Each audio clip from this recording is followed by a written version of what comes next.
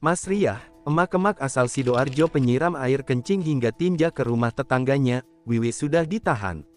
Mendengar Mas Riah dijebloskan ke lapas warga sekitar rumahnya menggelar syukuran. Martono, 53 tahun, warga desa Jogosatru RT 1 RW 1 mengatakan bahwa warga desa ikut merasakan kesedihan yang dirasakan oleh Wiwi sekeluarga. Selama bertahun-tahun mereka mendapatkan teror penyiraman air kencing dan tinja oleh Mas Riah. Teror penyiraman air kencing dan tinja yang dilakukan oleh Mas Riah, menurut Martono, merupakan perbuatan yang tidak terpuji.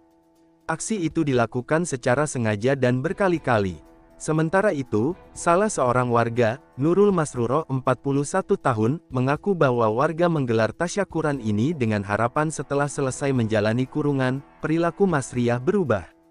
Warga bersedia memaafkan Mas Riah jika insaf. Sementara itu Mas Raffi, 20 tahun, warga lainnya mengatakan bahwa syukuran memang sudah direncanakan sebelumnya.